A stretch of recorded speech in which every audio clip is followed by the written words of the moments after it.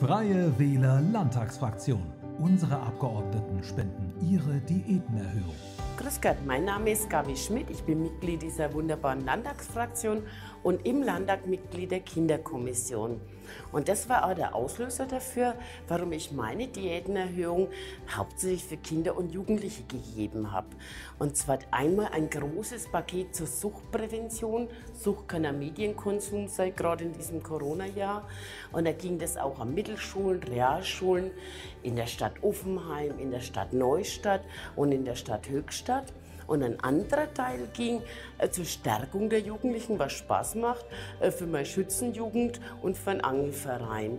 Also wir müssen auf die Kinder schauen, die stark machen und dafür spende ich gern. Wir helfen Menschen, die wegen Corona in Not sind. Freie Wähler Landtagsfraktion.